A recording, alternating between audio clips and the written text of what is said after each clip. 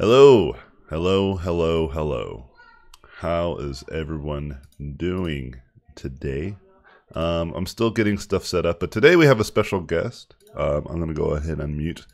The special guest is Adam Duff. Adam, Hello, you want to introduce yourself? Yes, how you doing? Uh, thank you, Anthony, for reaching out and for inviting me. This is uh, quite the treat, quite an unexpected treat. I appreciate that. Yeah, absolutely. Um, so, you know, I think a few streams ago, someone was like, hey, you should talk to Adam Duff. And I was like, okay. so then I reached out to him. And then he was like, yeah, let's do it. Let's talk and hang out. And so let's do a little bit of like a kind of a podcast slash interview thingy. Yeah. Uh, and, you know, we probably will do this pretty often. I don't, I don't see why we wouldn't just keep hanging out. Um, I'd love that. I'd Yeah. absolutely love that. and so right now I'm going to share this stuff on my socials so that way if people um, want to hang out there, they can know about it. Uh, all right, so that should be all good and done. Okay, so it's going to be the same kind of format as normal, guys. I'm just going to be hanging out, painting. But the difference is that Adam, you know, he brought some cool things to talk about. So we'll probably talk about that stuff. Oh yeah, we got some people already saying, "Oh, dope, Adam." Hey, check it out. Hey, guys. um and so we can just yeah like a, like a normal stream that i would normally have i just will hang out and chat with y'all and then uh, mike's gonna help moderate so if you guys say stuff that way um, i don't have to constantly look at the chat Yeah, normally i, I would because it's like just me me and Right. you mean the streamers or the people watching the stream and so then uh, it's not too bad and i don't have thousands of people watching me so it's much easier to to manage yeah. But, for uh, sure. but we should be good though. So uh, I'm already I'm gonna start painting right now. So Adam, uh, before we get into kind of the topics that you wanted to talk about, if you wanted to kind of talk more about who you are and what your journey is for those who may not know. Awesome. Well, thank you. Uh, yeah. Uh, well, I'm a fellow artist like yourself, a fantasy illustrator, and uh, also teacher. I'm, I have uh, Lucidpixul. It's my private art, art mentorship online. I've had that going since around 2015 or so, and that's pretty much become my full time job at this point. Um, I also illustrate, do fantasy illustrating uh, illustrations on the side as well uh, when I have the time. And yeah, apart from that, I'm a YouTuber like yourself. I have Lucidpixul um, and uh, been doing that for many years as well. And it's my second full time job where I reach out to to my audience, just like you. Cool beans. All right. Well, that was short and sweet. Yeah. because whenever I do intros, it's like a whole thing, man. Yeah. I, I, but- you know, I'll tell you something though. As far as social media and stuff, I, I I have created a lot of social media tentacles all over the place, but it just became a lot of work to just keep up with all that stuff. You know, one update, one update would stretch across too many things, so it's, I just decided to keep it simple. So YouTube has really kind of become my main hub for reaching out type of idea. okay, cool. Yeah. Yeah, I um, yeah, I, I talk a lot. So when, like whenever I do the, the intros, I always go into like a crazy life story stuff. So I appreciate you guys you taking it nice and simple and just letting people know what you, or know what you do. Oh, don't worry, I can it. chat. I can chat. I, I'm just Okay. getting warmed up here. Okay, okay, cool. So I mean, we could go ahead and start off because I know you came a little prepared more so than I normally am. I'm just like jump right in, and so like if you want to kind of, uh, you know, start the the this little chat like this like kind of semi podcast thing we got going where Yeah. you can you could bring in some interesting topics that you think would be nice to talk about, and we'll just have a conversation. I Yeah, think most of the stuff we probably will have agreement on. I don't I don't see anything that would be too controversial. But if if there is anything that uh, we disagree with one another, I think that's fine. I think we should have that conversation. Oh, sure, absolutely. And we come from two different, you know, although we both have similar jobs, we come from two slightly different uh, angles of it, right? hmm And very often, I I see many artists with who are equally uh, uh, uh, successful and equally skilled, but have very different angles and approaches towards teaching and learning and all that kind of stuff. Since we're both teachers too, right? So.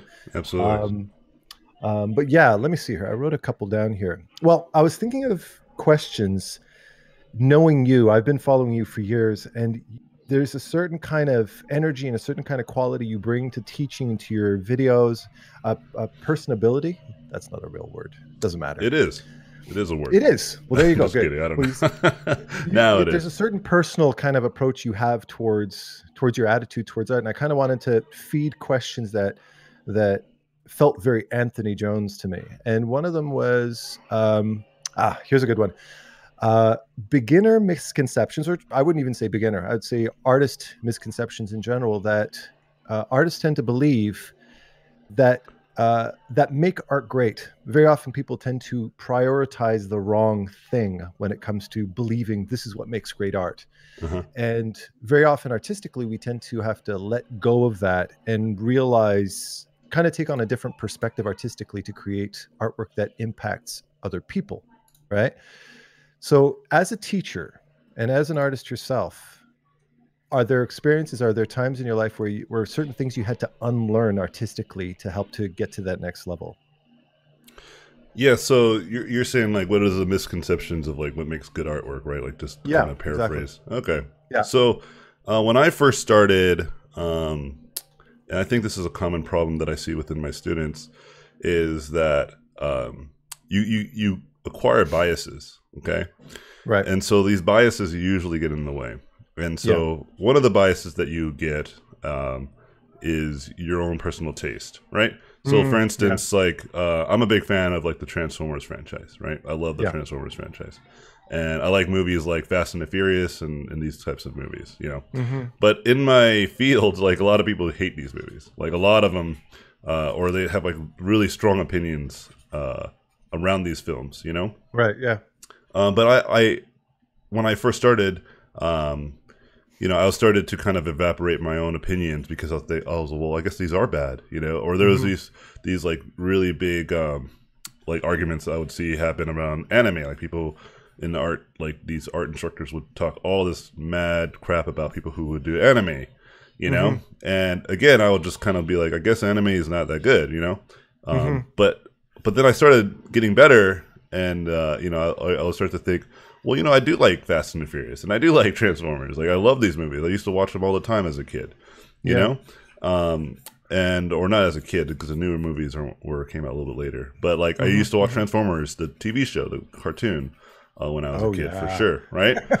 And and then the Fast and the Furious movies, I've always been a fan. Like, um, I remember Yeah. one time uh, I was gonna go watch a movie with my friends, and they wanted to go watch um, Finding Nemo, and I Right. and I was like, Finding Nemo, that's like a cartoon. I want to go watch uh, Fast and the Furious. That looks Mhm. way cooler. And, and Yeah. they were just like, ah, you know, but like we heard a lot of good things about it, and it was like a couple, so I was like, ah, okay, I guess we'll go watch it. You know? Yeah. Uh, I ended up loving Finding Nemo. By the way, I thought it was a great movie. Yeah. I was like, what the heck? This movie's amazing. Um, Mhm. But then I ultimately went and watched, you know, Fast and Furious, and still loved it. Yeah. And so then the the point I'm making is that, um, and same thing with like the whole anime stuff. I started realizing was, well, wait a minute. It's like, but a lot of people love anime. A lot of people love Fast and the Furious films, uh, the Yeah. Transforming movies. You know, I think that these other opinions that my art peers and contemporaries are having are actually uh, in the minority. You know, it's Yeah. actually they're the outliers. You know, Yeah. it, it's it's the opposite. And I was like, wait, like so what what makes good art? What makes good design? What makes things good? And that's when I realized that you have to consider the context. Mhm. You know, because if you only Yeah. focus on your own biases, then you're going to be really, really disappointed uh, Mhm. when the results don't go your way or as you expected. Yeah. Case in point, you know, I'm sure the director who did the latest Blade Runner movie had good intentions of making it like this this big hit, you know? Mhm. But the Mhm. reality is that, you know, the Blade Runner franchise was a cult classic because it takes Yeah. a cult to keep it alive, you know? Uh, because when it first came out, it wasn't that popular, you know? Mhm. Uh, and then so only a subset of people, people that work in our circles, love these movies. Mhm. But they have to realize we're a real small minority. Yeah. And and I I love the the Blade uh, Blade Runner aesthetics, but I actually Mhm. don't like those movies. I feel like they're very boring. I fall asleep every Yeah. time. And Same here. Yeah. and that's just my opinion. And I don't think that that's necessarily right or wrong. It's just my opinion. But if you were to ask me, okay, um, are those movies good movies? I would actually say no. But if you say if those movies are um, uh, visually stunning, I would say absolutely. You know, Mhm. and I'm saying that objectively. I'm trying to keep my opinion out of it, right? yeah. Yeah. Because if you're if you're gonna say, well, do, uh, is Blade Runner a good abstraction of a movie, like the Mm-hmm. abstract ideas and the stuff? I was like, yes, it is. Is it a good, you know, mainstream popular movie? No. Yeah. You know, the general audiences don't get it. They just don't. Yeah. And so, uh, I think that's a really good trait as a designer is to recognize those differences, like your own personal opinion versus Mhm. what is the task. Because if Right. I was going to work on like Finding Nemo, right, for whatever reason, uh, I would be like, "Why are you guys hiring me?" Right. Because none of my work fits in this genre. You know, Mhm. they're like, "No, we're really gonna we're gonna twist it. We're gonna make it like live action, and it's gonna be a horror film." And I'm like, "Oh, okay. Yeah. Well, then in that case, we're we're good." You know. But Yeah. if um, you know, if I got approached by uh, like a studio, like um, like I don't know, like a, a game that I don't really like, which would be like the Skyrim genre. They were like, hey, you know, Mhm. let's work on. We want you to work on Skyrim. Mhm. I'd be like, let's do it, because that's like right Yeah. up my wheelhouse, you know. yeah. And then Yeah. a game that I really love, like the Uncharted games, if they Mhm. were like, hey, we want you to to work on these these games, like Uncharted Five, whatever, right? Yeah. I would be like, I don't know, because again, it's too contemporary. It's something that I don't do often. Yeah. Yeah. And that's me putting my biases, my own personal opinion aside to recognize what's actually going on, what I would actually enjoy. And and versus like what I think is good, what I think should be made. I think if you really have an opinion that you think is valuable and has like a lot of merits, I usually encourage people then to to make their own artwork and prove it Yeah. you know because it's really easy and we're falling into this culture of like really kind of being critical of everything um, it's really easy to talk badly about anything it really is you can even like Yeah. look at movies that we all love like um, like Jurassic Park. I'm sure most people would agree that th- that's both a great visual movie and a great movie, right? It's like is that- it, Mhm. it does everything. You can you can make the argument that like why didn't they make the fences bigger or more concrete? Why didn't they do uh, better parameters to, to like keep the uh, park safe? You know, Mhm. we can talk all about the plot holes. We can get really into the nitty gritty and dig into the, the the larger problems of the movie. Yeah. But the pro- the point is is that people don't recognize it because it's a lot of fun, you know, and Mhm. people forgive a lot of those things, you know. Yeah. And so it's like it's again like I'm saying it's really easy to be critical and just talk crap about anything, you know. It's hard to Yeah. be more objective and more critical and understanding what does well and what doesn't. And I'll so tell you something just to kind of interject there. I would add to this. It's a what you're saying is a big deal because um, we tend to, as artists, we get very caught up in the technical, right? And being technical artists, we very often tend to observe and scrutinize things based on how they perform technically, and that can pull us away from what actually just makes something entertaining. And Yeah. as artists, we kind of, and I see this in your work all the time, and it's you've trained the technical skills, you've trained your design skills, you've learned about lighting, you've learned about rendering, you've learned about surfaces and anatomy and all this different type of stuff, which is all great. But then, are your paintings fun to look at? Are they actually visually engaging? Am I am I getting excited looking at your artwork?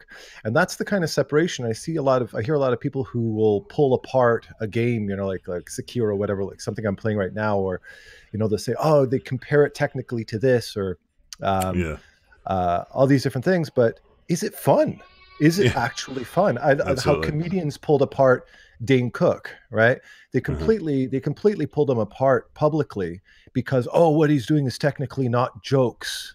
And they're going, yeah, okay, but everybody's but laughing, people- so what's the point? but there's an entire freaking auditorium of people screaming, laughing. So Yeah. fuck your theory about, excuse my French, screw your theory about about about the laws and technicalities of comedy because people are laughing, and Yeah. that's that's the bottom line, isn't it?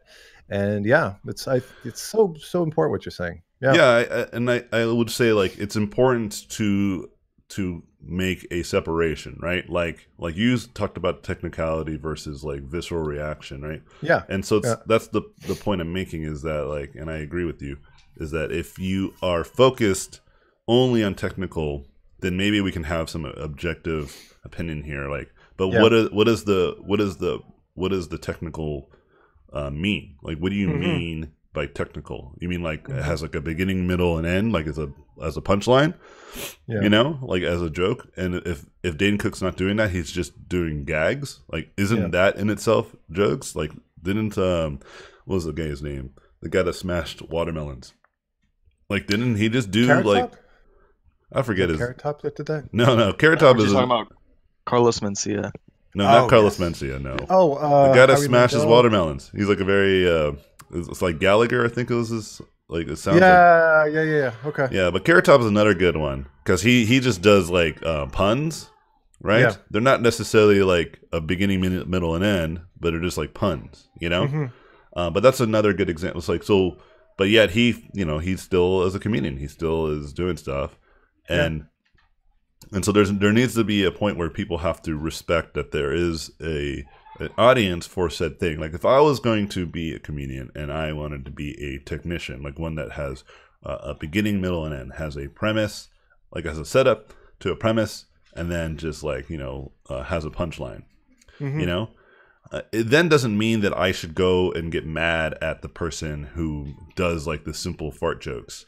Mhm. You know, the, the, there's two different genres, and and for me to get mad at somebody who is doing something that seems and, and appears to be easier, which may be true, right? Doesn't mean that um, we should tear them down, right? Like a good Yeah. example of this in our community would be like people who do like fan art, or people who do like um, like you know these like Patreon things where they have like just like fan art version of characters in like the most like you know provocative and exotic situations. Mhm. And now people are very critical of this. They're like, well, that's easier, right? Like, because it's just like, it's not their own ideas. They're just kind of like perverting the ideas of others. And I say to that is that, well, that's just how it works. Like, you know, like Mhm. sex sells, you know? Mhm. And if you take two two ideas like sex uh, and characters that people are familiar with, yeah, that's going to do pretty well you know um, it's like the same kind of thing that you see with like instagram models right you have these group of people who are just born beautiful right Mhm. they didn't do anything for it they just literally are just beautiful people they are ungodly beautiful right Yeah. and all they do is to take pictures of themselves and Yeah. so you know it feels unfair right like for Mhm. someone like probably myself who isn't i can't just take pictures of myself and do well it's just not going to happen right Mhm. Mhm. um, it, it seems I'm sure I shouldn't be agreeing to you. I shouldn't be mm that actually. No, I completely disagree. But please go on. no, no, it's fine. You can agree. Uh, right. you know, so I guess I convinced somebody to marry me, so I'm all right. There you go. I, I my self esteem is doing all right these days. Uh, but my point is, is that you know, like that's clearly a thing that people get really mad about, right? Mhm. And because it feels unfair. It's like, like uh, what was it? The what was it? Ken was it Kendall? One of the Kardashian peeps who Okay. was like a self-made billionaire. This is what they said in quotations, right? Mhm. Um, like well, the youngest billionaire, and people got really upset. They're just like really bad about this idea that this is like who we're accepting as like our ri- richest folks. It's like, well, no, like she definitely put some effort into doing the things that she did, and yes, she is one of the beautiful people who took advantage of her beauty and all that stuff, Mhm. right? But it's like you know. The, the problem I have usually with this criticism is that it really doesn't do anything. Like, so what? What is our solution then? Right? Should we then anyone who's beautiful, we should just say you can't have fame and money. Uh, Mhm. Anybody that has like an easier access to this stuff, so we should say no, you can't have it because it's not fair. You know, because then that ultimately tips in the opposite opposite direction, right? Yeah. And it's a little it's a little dangerous if you go that way. Uh, Mhm. and plus, it doesn't do anything. So, like, let's say we do take down Kendall to say, you know what, give us that billion dollars back. How dare you? Right. Right. So, what does that do? What does that actually accomplish for the person or for for, for the people who are critical? Nothing Mhm. all it does is takes down the person who uh, we just for whatever reason don't agree should have that you know Mhm. and in some cases i do believe there are people that don't deserve the the fortunes that they have gotten you know um, but in most cases uh, I'm all, I'm okay because it's like it really doesn't affect me unless it genuinely affects me. Like usually it doesn't. Um, I don't mind. I don't care because that's someone else's life. Yeah. And the point I I'm trying to, and the Yeah, yeah, just to finish this point, and I'll let you jump in on this. the The point I'm trying to make is that, you know, uh, a lot of these critical, like people being critical and like have something to say whether it's like going back to art like technical or whether it's like you know the style or the genre um it's because for whatever reason maybe they they didn't reach that same like um status right yet Mm-hmm. and I find that people who do, people who tend to reach the same status uh, or like the higher status that they would always wanted to have, tend to complain less. You know, Mhm. because they start to see, oh wait, no, I actually got here, and it's it is a challenge. And the people that Yeah. I was very critical of before I met them, and they're really good people, and they're not malicious. Like, why was I so negative? you know, in the Mhm. past. Uh, and I can speak for myself. There was an artist that I used to be very critical of, and I was like, "Ah, this guy always draws and makes the same stuff." And I met him, and I felt so guilty. I felt such a, an idiot. I was like, "What was I thinking? Why was I focused on that?" And it was really focused on my own insecurities rather than uh, focusing, um, like it r- rather than focus on my own inse- insecurities. I projected it onto others, and I feel like a Oh, lot of that, Yeah. a lot of that happens in our industry Yeah. and others. You know, it's it's you know you're saying you're talking about the beautiful person, right? And how you you f- it feels unfair that they're taking advantage of their beauty and they're not actually making an effort. The thing is, like you said, they're born beautiful. For them to be beautiful and for them to um, use their beauty for gain, for whatever gain, does not damage their integrity because they are in essence being who they are. They're being who they were born to be. And it's what what you can always tell the difference between somebody who's trying to be beautiful and somebody who authentically is. And I don't mean this by any stretch of the imagination as a hit on people who are less attractive. But what people are attracted to, what makes a person attractive is integrity. Knowing who you are and knowing how the world sees you, being aware of that, having self awareness. And if you look at something like, for instance, one of the most beloved characters in The Incredibles is Edna Mode. She's not, she knows she's not, you know, uh, uh, she knows she's not a supermodel. She even kind of makes a little hit at supermodels, right? Uh, in in the movie, but she knows who she is. And Brad, uh, Brad Bird even mentioned um, I have my little kids too at home, so they might make some noise as well. Yeah, I actually mute myself on the stream so nobody can hear that. Yeah, yeah, but I but I, I don't want you to get distracted. If you hear him in the background, just Oh, just don't worry. I've, I've got three kids. I'm, I'm quite used to the noise. Okay, But, go. um, Con- yeah, Continue no, your Uh, what Brad Bird based the character of Edna Mode off of off of uh, Bette Midler, and he said when Bette Midler would walk into the room, she's not walking in trying to be a supermodel. She's not walking in trying to be this ravishing, you know, six foot three beauty. She was a short, big, wide, wide faced, obnoxious, loud, hey, everybody, hey. And she, because she knew that's who she was, she had an incredible sense of self. Nobody could take their eyes off of her. It wasn't because she was prettier, it's because she ha- she completely knew who she was and completely embraced herself.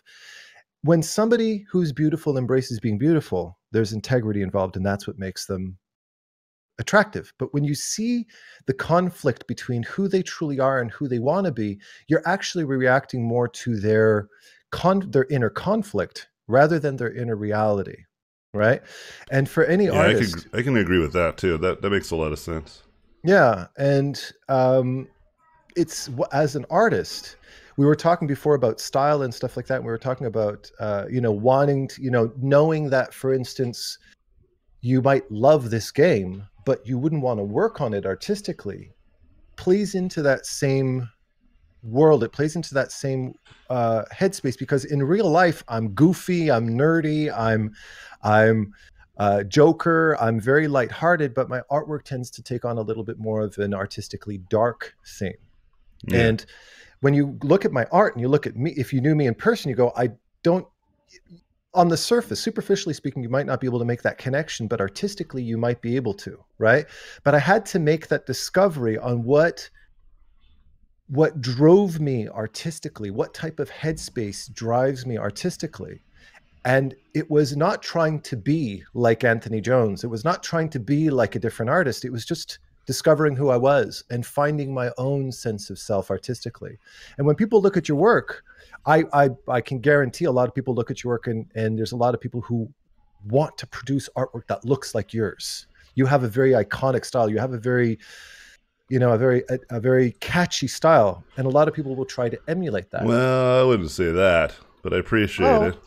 well, it's you're being modest, but yeah, no, absolutely. I, I've even learned, I've even grown a lot looking at your artwork as well, and Yeah, you it's it's a very catchy thing. But Well, I will say just to mean, yeah, right? just to just to jump off of that, I will say that a lot Sure, of of my style and a lot of my artwork is driven by the things that I I, I like to look at. Like some of Yeah. the artists that I I tend to be inspired by is like you know, like the the guys who worked at at uh, Marvel, uh, Ryan uh, Meinerding, Charlie Mhm. Wen. Those are some of my early influences.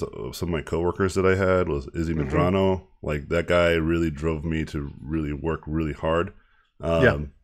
And then you know, right now, like there's a ungodly amount of people on ArtStation that I'm being influenced by. I'm starting to mix up my styles. Um, I started looking at comic book artists like Sean Gordon Murphy, uh, Mhm. Mike Mignola, and it and it goes but kind of where's the core, where's the core of that though? Like when you attracted to artists, they are appealing to something that exists within you. yeah. So I was gonna right? yeah I was There's gonna say exactly. I was gonna say so like to this idea of like when people are trying to be themselves, right? Mhm. So then that usually like pulls through above all else. And the thing that drives me usually whenever I do artwork uh, tends to be basically tends to be uh, technical, right? Yeah. I like yeah. Technicians. I like people who clear, are very good at clearly giving me an idea of what they're trying to do. You know what I mean? Yeah. And so whenever I see um, people that do this really well, like have like the mastery of what they do, uh, it Mhm. really sings to me. And um, it's always been true for me um, throughout my career. And the thing that I enjoy uh, outside of that would just be also making something that is uh, like a, like basically have some appeal at some level. You Mhm. know what I mean?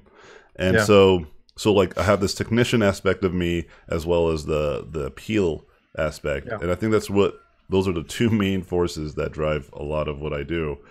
And um, it's it's kind of like you were saying, like because if I was just just to copy paste um, one person style because I felt like that's all I needed to do, or I don't know Mhm. how to do anything else.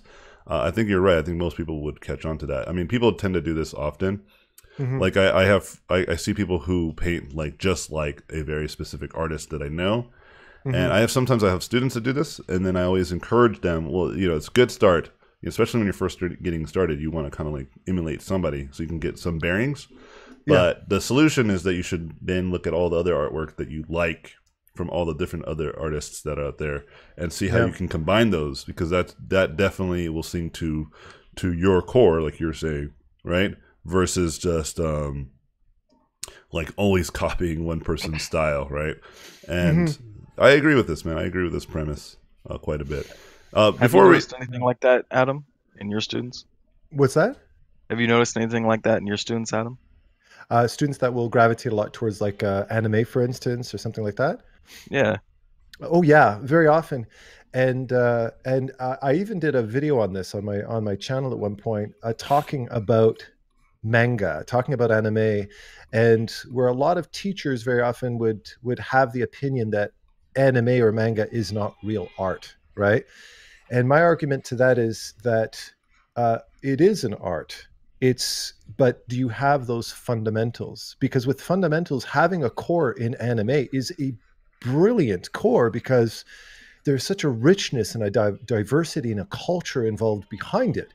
But if you're just copying, if you're just doing the the the sur- if you're only capturing the surface and trying to copy an anime cartoon, uh, a manga cartoon, if you're trying to copy somebody else, at the beginning, when you're just trying to get yourself drawing, you're just trying to you know expose yourself to the world of world of art and get yourself you know drawing then that's great. But when you want to actually take it to a more professional level you've already initiated yourself into the art but now you want to bring those fundamentals back into it so that you can use so everything you've built up everything you've learned as far as the culture of anime is concerned can be applied afterwards. Once you've gone full circle and you've brought those fundamentals back in it breathes that new life and style. And i think that it's incredibly valuable because anybody like i'm i'm in my 40s now but you know my age and younger very often have a bias against things like anime for instance. They think, oh, it's not real art. You know, it's you, you want to do, you want to paint like the classic artists and stuff like that.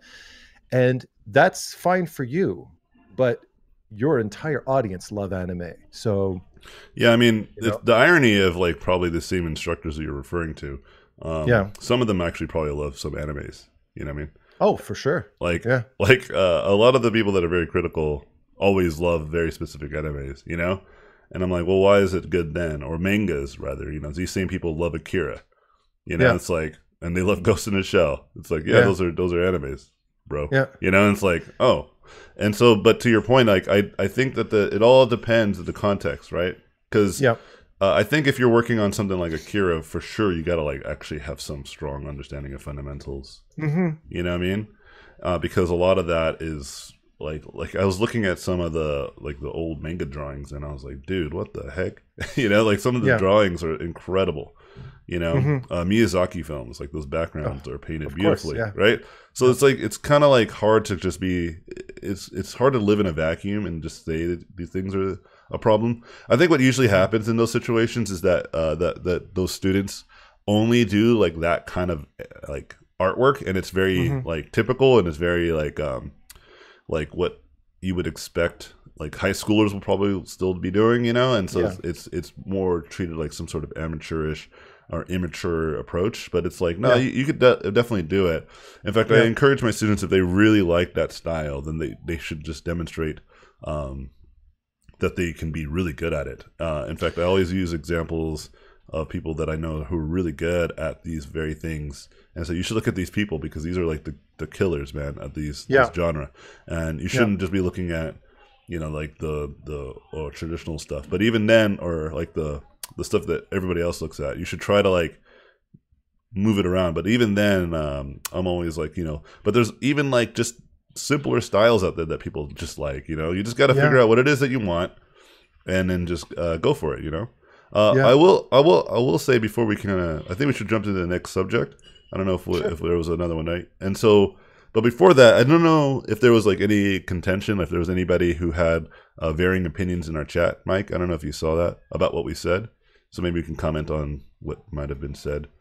That like I think some people might have had some comments. Uh, I don't want to. I don't want to make it feel like no, it's just nothing, me. nothing like that. Okay, we have cool. questions though. Okay, Yeah. cool. Maybe we could take a little break and answer some questions then. Yeah, I just don't want to make it feel like it's just me and Adam just talking the whole time. Uh, Oh yeah, yeah I, I for sure. definitely want to, you know, get anybody's. You could tell. I could tell by the conversation that we could go on on this for Absolutely, hours. for sure. dude. Yeah. That's why I was asking how much time you got, man. Yeah. I can I can push it a bit further. I'm okay. Okay, all I'm, right, not, cool. I'm not in a rush. All right, I'm gonna I'm gonna drink some smoothie while you ask some questions, Mike. Oh yeah, and right, people are asking like, who's that third guy? Get him out of here.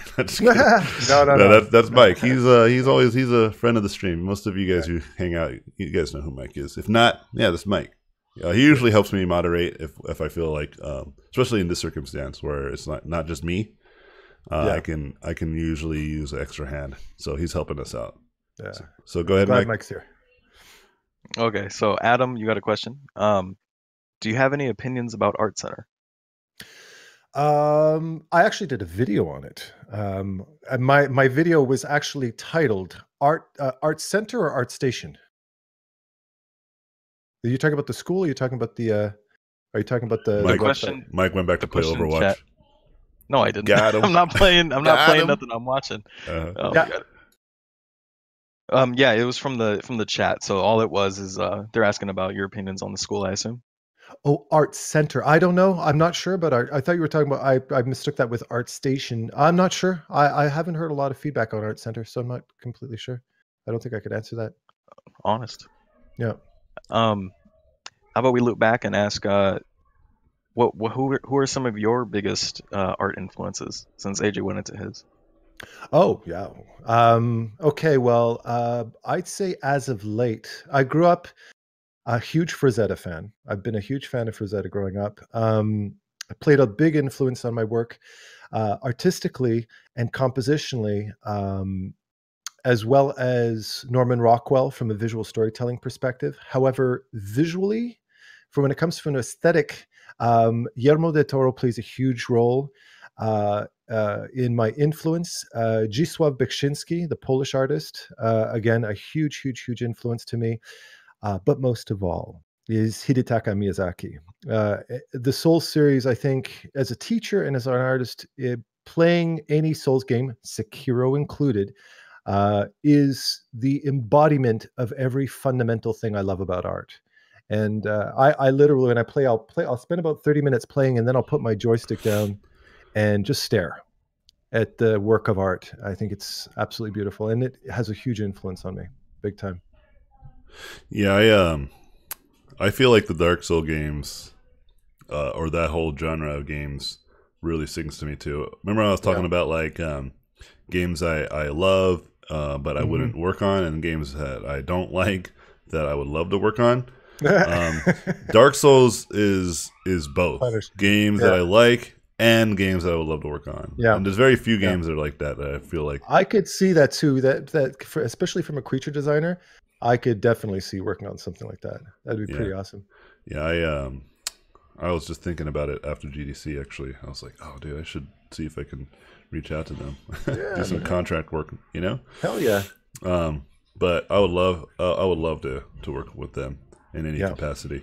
But like, but it's it's like yeah, it's, it's a, a great example of um, of what you call it of of both the Yeah. things that I like. And again, like going back to this idea of like you know context matters, but also your opinion matters. Like that's my opinion. Like I love Mm-hmm. I love those games Yeah. a lot. You're Um, you're a glutton for punishment. Yeah, I, I like the the premise of those types of games of like it's not easy, but it's not unjustly hard. You know, Yeah. it's- It's, it's- no, it's it's the it strikes a perfect balance. You know. Yeah. Absolutely. It's like you, you deserve the punishment. you know, you shouldn't have been rushing in. What's wrong with you? Have you Mm-hmm. but learned it's, nothing? It's also, but uh, Miyazaki even uh, Miyazaki even said it himself. It's uh, it's it- it reflected on the on life itself that without us without friction, without challenge, you don't get that euphoria of accomplishment, right? And I even that could even reflect in. I just heard it recently too. Who was it that I was listening to? Crap. Um, I was listening to somebody, can't remember who, who was talking about how in life you need friction. In life you need difficulty. Uh, oh yes, it was uh, was it was Neil deGrasse Tyson actually, and he was talking about how uh, things need to be difficult. They need to be difficult to because a lot of people won't push themselves through that difficulty. And when you do, it's a rite of passage. It's showing other people that you've reached a certain, you've achieved a certain quality and you overcame a certain obstacle.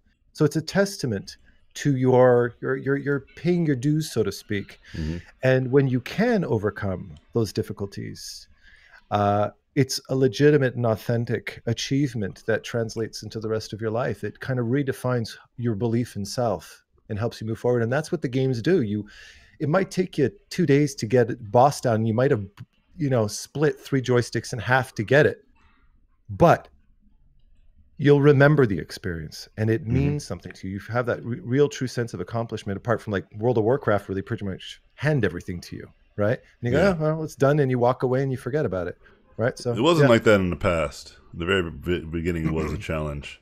yeah, um, and it was very monotonous to do a lot of the things, but it was it was very much a challenge. But it's Yeah. like, but they were like, you know, they want to like reach a larger user base. They had to uh, simplify it. You know, and how did that work out for them? it's actually it's actually working out great for them. It's just It that. Yeah, it, it's just that not as good as it was in the past, but it's it's Yeah. still a moneymaker, man. They have like a staff of like over a few hundred, man. Like it's it's definitely very Yeah. valuable to them. Um, yeah, from an economical standpoint, I guess. Yeah. Yeah, so that's my point. Like, remember, we got to context matters, right? Like, if we're Yeah. thinking like like my opinion on it, yeah, I I hear what you're saying. You know, Mhm. like I stopped playing it for the very reasons that you probably have contention with, right? But like Yeah. my point is, is that uh, it worked out overall. Like you know, when the game goes, like when they announced that they're going to make Diablo like uh, one of the newer games, Immortal, uh, mobile, you know, people flipped out, and I agree with that sentiment of like, what are you doing? Like announcing this at like BlizzCon. Yeah. Um, but it makes sense. I mean, like a lot of their money is coming from games like Hearthstone, you know, and mobile games. Mobile games are very lucrative. As much as uh, you know, authentic quote gamers don't care for it.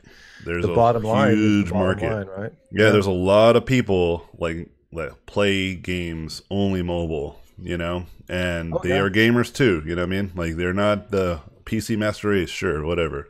It's but true. I mean, when I was at EA, um, their console games were they were they were bleeding money from their console games. The, what kept EA from going under was their mobile department.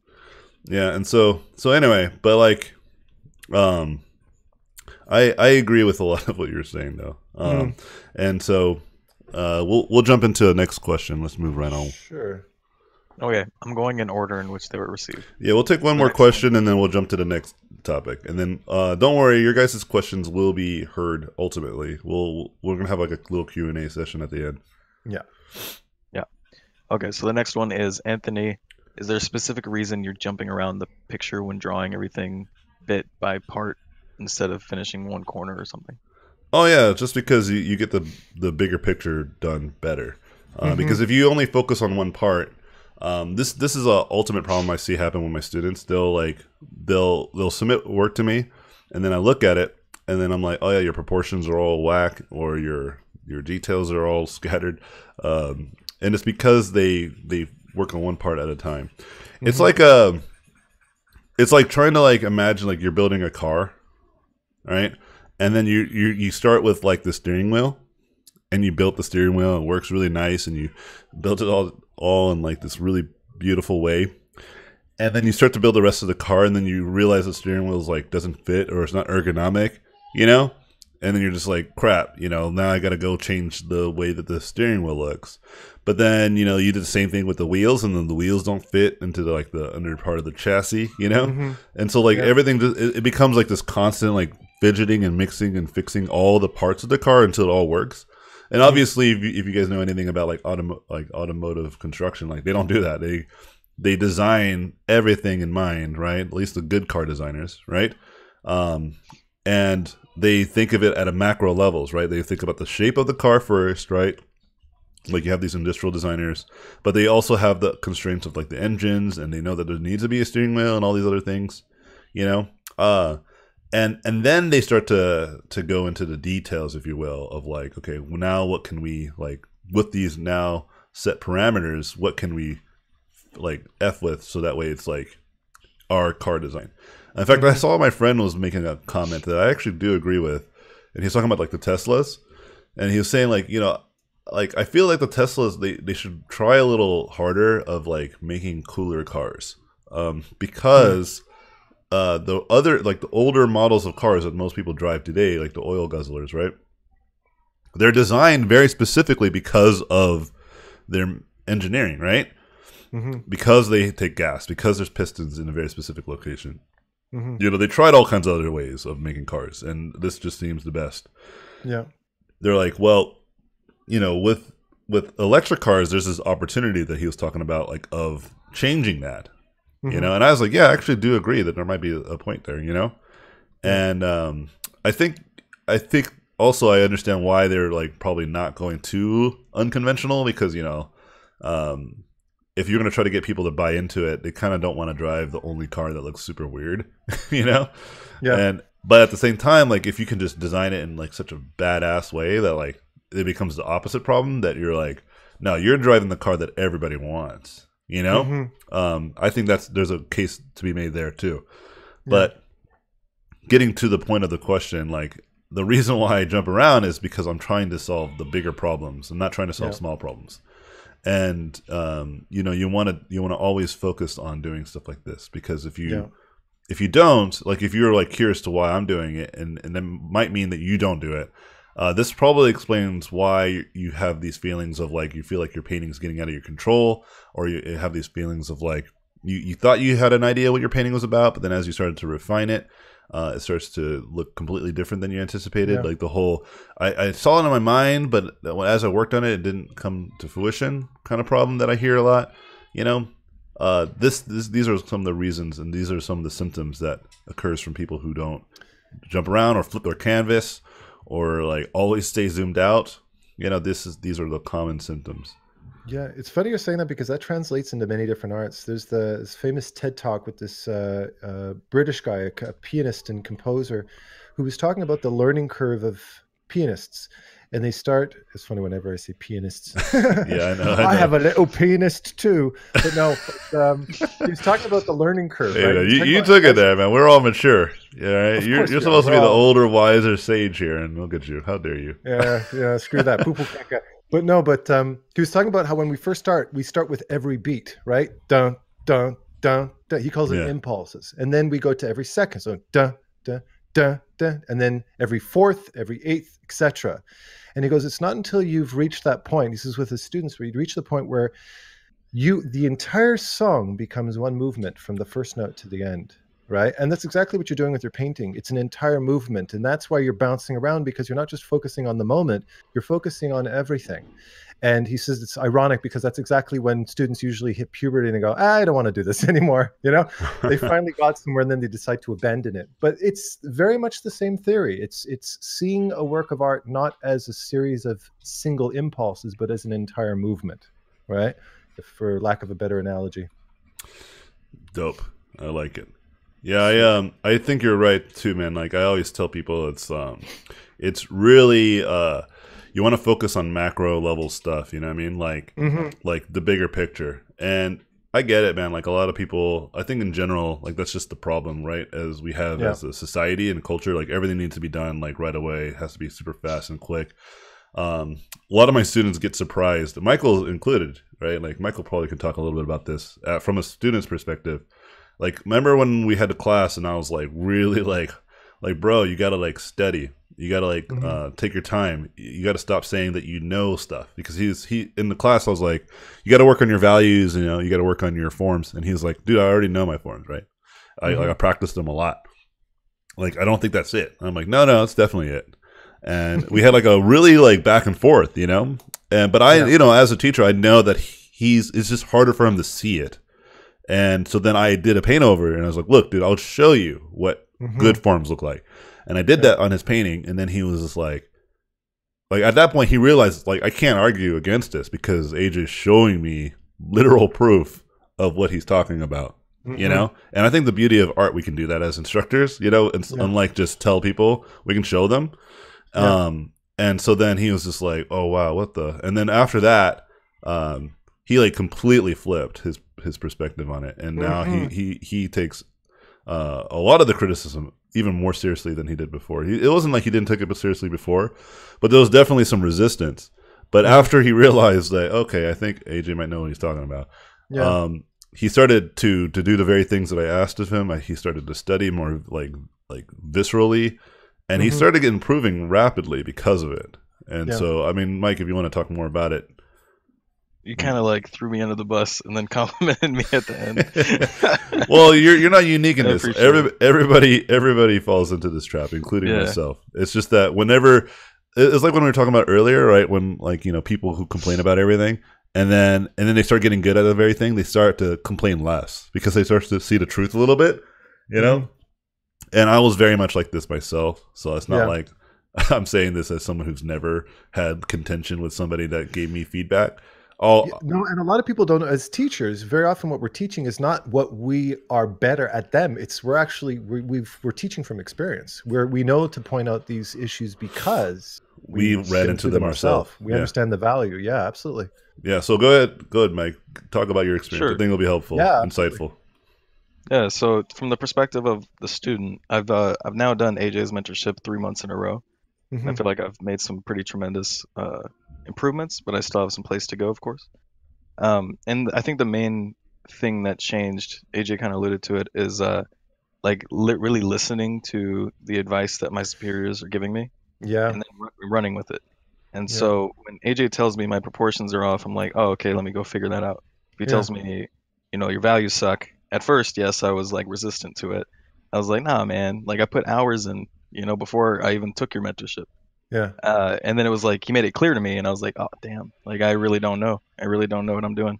Let me go try to fight, figure out how to know hmm and Yeah. I just investigate and I start, you know, learning how to learn. And I feel like the the That's biggest big, thing yeah. that helped me is uh, the, learning how to study and then apply it. And it didn't happen overnight. It was it's difficult Yeah. to like figure out how to like, am I actually studying something? Am I really breaking this th- down and getting an understanding and then testing it?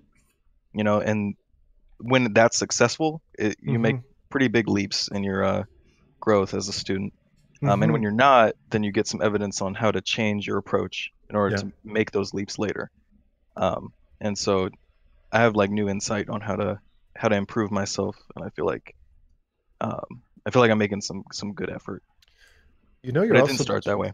You're also saying something else that matters a lot is that art, learning art is physical as much as it is mental, right? And it's the act of physically Yeah. doing something with your hand. You go, oh, okay, you know, like, and uh, uh, you know, like, uh, you can go and buy six thousand Gumroads, but if you don't actually apply it, if you don't actually physically experience that with your with your hands and with your body, then that that lesson doesn't sink in, right? And you actually have to physically experience it to go, oh, maybe I do have shit to fix, right? Yeah.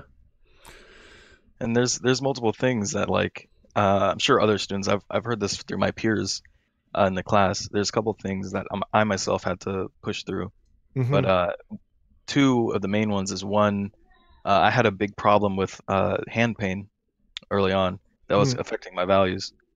Uh, so I was like pushing way too hard and Mm. using like bad technique. Yeah. And I had to like really investigate and work on that specifically for a Yeah. little bit. And that made that made my values better because I, I started having better control over the pressure that I, I intended. Mhm. Um, and I ended up being able to paint for longer hours because my hands didn't hurt when I was done yeah. that so that that helped me tremendously and then the second thing that i'll tell is um when it comes to uh, something aj calls uh, positive procrastination i was really bad with that so i would i would do things that i thought was helping me with my art Uh huh. or helping me move forward but really it was just procrastination i was avoiding the main thing which is doing the art like studying testing painting Yeah. and doing it often A good example of this would be like staying on Pinterest for like four hours, right? Like, Yeah, of course, you should be gathering reference, but at four And you- hours in, you got to like realize you're You're not good. gathering reference anymore. You're collecting art, and that's Yeah. Yeah, different. and Adam just alluded to that too. So the same thing is like collecting the Gumroads. Like Yeah. you think Absolutely. You think that you're you're doing something positive for your growth by collecting these tutorials, even if you're watching them. But if you're not actually applying it, you're just procrastinating. Yeah. It's positive procrastination. It's actually a good way to break that down. hmm Yeah, because Um, it's it's a trick. It's an illusion. You're not Yeah. actually getting better. You're just watching people tell you how to get better, but you're not putting the practice in. I always Yeah. use the example of like, uh, if I tell you to do like all these different types of workouts to get stronger and more fit, and tell you the kinds of foods you should eat to get more um, healthy, but then you Mhm. don't do any of that, like, like yeah, sure you have the wisdom and the knowledge, but you didn't do anything to acquire the health and fitness, right? Like, Yeah. eventually you got to do a push up. You know what I mean? and uh, a lot of people tend not to do the push-ups and then they're like I, I i watch a lot of stuff i study stuff and i'm like yeah but how many push-ups have you done oh well i mean like two and i'm like well then come on man like you can't say you've done the work if you literally have not done the work Yeah, It's- I there's- think Chris Oatley had mentioned once on his Facebook. I've quoted him before on my channel too. It's is if you subscribe to a fitness magazine and read an entire fitness magazine every day for an entire year, but you never go to the gym, will you actually get in better shape? yeah that's No. great You got to go to the gym, right? Yeah, You got to do the work. Yeah. chris oatley right shout out to Yeah. chris oatley Shout out to Chris. all right Um, let's let's actually- jump oh go ahead mike you Oh, want to I- finish sorry, with I, I just remembered. I remembered something that I think will help uh, some of the students, and I also want to hear what you think, Adam.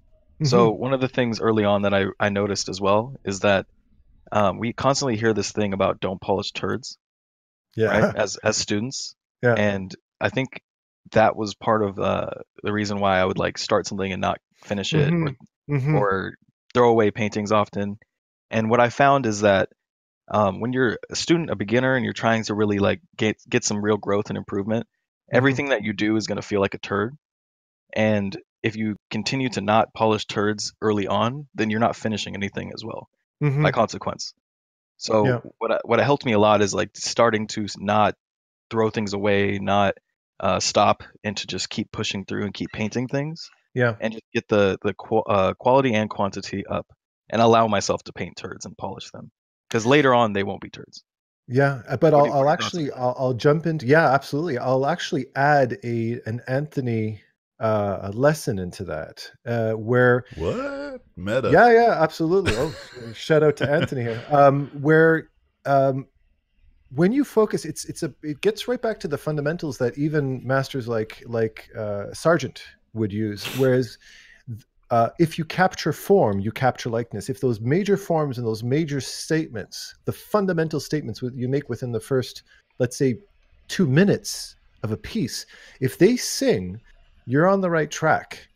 And if you're 10, 12, 15 minutes into a painting and you're still noodling with it, trying to get it to work, chances are it might not work. You might just need to scrap it and start over. Uh, and what we did, very like you say, polishing a turd, you kind of think that through rendering, through detailing, you're going to make it work, and that's that's the trap. You want to make sure that that fundamental form statement works first, just using basic shapes, basic values, basic design statement, and then if that works, the rendering will polish it. But you the the turd is where you say, ah, you know, it looks kind of meh, whatever now, but maybe after spending another 16 hours, I might get it to work. No, drop it. Drop it now and and look at the fundamental construction of what you've made and ask yourself, is that working? And if that works, then you can detail it as far as you want. And if you're Sargent, you might not need to detail it much at all, right? That statement might be enough. Yeah. So to to actually counter that, I actually uh, agree with the premise, right? Ultimately, because I yeah. think that works for people who are at an intermediate level, right? Sure. Yeah. Yeah. And and I like people who aren't necessarily really really great, but also people who aren't like new to the to the ball game. You know what I mean? Yeah, yeah. And something that because like Mike was talking about something that I realized, and I actually like because he was making that point, and I was like, wait, so this solution isn't a good solution uh, obviously context matters again, right? And so yeah. when I, I was like, wait, you actually need to finish paintings. Uh, and the context of this was not as like you're going to have good paintings, like to your point, right? Like mm-hmm. I agree, like you have to have a strong, like I, I, think in the first 10, 15 minutes of a painting, I will know whether it's going to succeed or not, you know? Yeah. Um, and I tend to just ignore the paintings that, uh, or designs, and this is especially for commercial work, I tend to ignore yeah. the ones I know are going to fall apart uh, mm. after like 10, 15 minutes. Even now it's getting faster these days. I can do like in five minutes. I can, oh yeah, this is going to be garbage.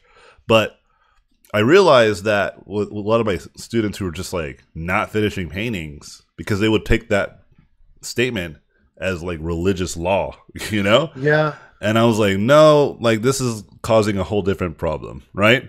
Yeah. And I was like, you know, and the solution and the way that I think about this is that you aren't making portfolio pieces. You are trying to learn your weaknesses. This yeah. is the best way to do that. You have to take a painting from start to finish. And I gave like solutions like don't give yourself like more than let's say five hours. Like spend five hours total, right? So that way, mm-hmm. again, you don't waste time spending like 20 to 30 hours on a painting that's really going nowhere, you know? Mm-hmm. But yeah. at least when you spend that five hours in the trenches, you start to learn like, oh man, it was really hard to get these lines right, or it was yeah. really hard to render this form, or man, mm-hmm. like I think the overall idea was garbage. Like I need to get better at that, you know? Yeah. And then and then when you do that, when you start to like go into un like you know undiscovered areas, that's when you start to ask uh, better questions. You know, mm-hmm. like better questions than what brush do I use? You know what I mean? Yeah. Or what software should I use? Or what tools should I use? You start asking questions that are a lot more um, like you're sniping them in in in rather than just kind of guessing. And yeah. so uh, with Mike and many other my students, like they tend to do this, right? I had a student who uh, I was like, "You got to finish your work," you know, yeah, and they would. And once they do, they were like, "Oh man." Like I remember you were talking about how we should have our silhouettes be very clear at the very beginning, mm-hmm. and now I understand why. you know, yeah. because as yeah. I was painting this and as I was drawing it, I had no idea what that was, that shape that I just drew in there. Because I was mm-hmm. like, oh, I'll figure it out later, kind of thing. Yeah. And it's like, and I was like, exactly. So now you learned that you won't figure out it later. If you don't know what it is then, you're not going to know what it is later, you know? Yeah. And I feel like at like those of you who are more in the beginner, closer to the intermediate, this is better advice. You should you should actually take your paintings a little bit further but then when it gets to like intermediate to cl- closer to pro, then I'm with Adam 100%, right? Yeah. Because because point. at that point you are like a somewhat of a skilled artist and you might be falling into bad habits and traps of your own making that yeah. you've learned and earned over the years of training. But when you're really starting out and you don't like you don't even know how to like render a cube, I don't think that's great advice because it's like you should render the cube You know, Yeah. you, you should definitely like render the like a face, draw a face badly so you can look at it and face it, like Mhm. pun intended. You know, and you can face it directly and be like, oh man, like I need to really work on so and so things, and and make a catalog of a small things. Don't do like a million different things, right? Like if you're working on faces, try to learn how to draw maybe just the skeletal structure, like just the skull, right? Mhm. And then move Mhm. on to like drawing the muscles of the face and then move on to the details of the of that and then learn how to draw it artistically like look at like i was telling mike that he should look at comic book artists right because they're really Mm-hmm. good at making really uh aesthetic looking faces you know Mhm. and then it's like when you start there then you come back to anatomy because then you start to see kind of where everything starts to match and Mhm. eventually yeah you'll get to that stage where yeah if you spend like an hour and you're just feeling like your design's garbage that's where the other vice starts to kick in where you should you should have a better sense of what's going on uh, Mhm. earlier than later You know, I'm looking at your painting and it's making me think of Master Wong. Do you know who Master Wong is? uh, is it the guy that does like those um, self-defense videos Yes, I and he s- always said, I quote him all the time. He goes, you, you just take the guy, you break his fingers, you grab his scrotum, Yeah. you lift it over his head, and you flip him 12 times. It's so easy. So yeah it's So so, easy. easy Oh my God. And so I'm easy there going, the hell is easy about that? Yeah, I didn't even easy. see what you did. Yeah, No, so you, not. you just made me think of Master Wong. Yeah. Yeah, he does I look like him. I, I do Yeah. feel like he does look like him. It's funny because like my, I might have subconsciously been just drawing him this whole time. Um, anyway, all right. So since we've already kind of spent a good amount of time talking about the first subject, yeah, yeah, yeah. you had like two other subjects. Um, which I of the two do you? I think we could only probably do one more, right? Oh, Yeah, uh, I'm good until uh, I'm good for another 20 minutes. Is that okay? Yeah, yeah, yeah. Well, actually, then we, we should just we just hold on to those other topics, and then and we should just go straight into Q and A and just answer Sure. all the rest of the questions. Because if we if we go, I have a feeling if we go to other topics, we're not going to have questions. No, we're, we're, we're, we have the gift of the gab clearly. This is, yeah. next next stream's going to have to be nine hours long for sure. Yeah, we'll do a twenty four hour stream. Whew, Okay. Let's do it. Stream All time, right. dude. Is there any Right, so- artists you guys really like? Oh, God. wait, wait, wait, what? Like I'm just in general? questions, Just in I general? guess. I, i- is there any artists you guys like recently? Oh, okay, that's a more little bit more specific. A little more specific. Yeah, yeah, yeah. Yeah, I, I like a lot. Um, I'm in the I'm in the camp of like I've been collecting artists without knowing their names. So let me go into my profile and then I'll just start naming them. Um, and I'll show you guys too. Actually, let me let's do a little bit of shout out. Well, so you guys can see my screen, so you're able to see this. So this guy for sure, uh, Arian Orberto. Yeah, I'm a, I'm a big fan of his stuff right now. Um, let's see. Oh yeah, Mickey Benz. I don't know if that's how you pronounce it, but this guy um, does these amazing like 3D um, models that look like paintings. Mikey Benz? I don't know. I don't know how to pronounce it, but like if you look, like look how dope that is, man. It's so cool. Um, I'm sure you, guys can't see unless you're on the stream, right? Like it's gonna take you guys 30 seconds to see it, the Adam and Mike. But Yeah, trust can me, it's it. good. Trust me, it's good. Ooh, that is nice. Yeah. And so, um, nice. in fact, I'll send this link to you guys in the Discord of this Mm, model Nice. because it is really cool. So anyway, yeah, you can tell it's like Yeah, nice, loose, confident renderings. Very pretty. Yeah. Well, there's like uh, the other guy who does like this 3D. Oh, what? yeah. So I was waiting for you to have that Oh, reaction. Is that a 3D painting? Yeah, What so it's a 3D model, but it's like painted. Yeah, and then this guy does a lot of stuff. Something. Yeah, because I'm in game dev right now, right? I'm in game dev mode. I'm learning a lot more programming Yeah. and game design and stuff. And so, like, uh, I've been trying to find ways to maybe make my game stand out and somehow, in some Uh-huh. way. And finding stuff like this was like super helpful. What so if you find like a painting, a game that looks like a painting, and it's like from me, uh, you'll know my Mhm. influences very clearly from the stream.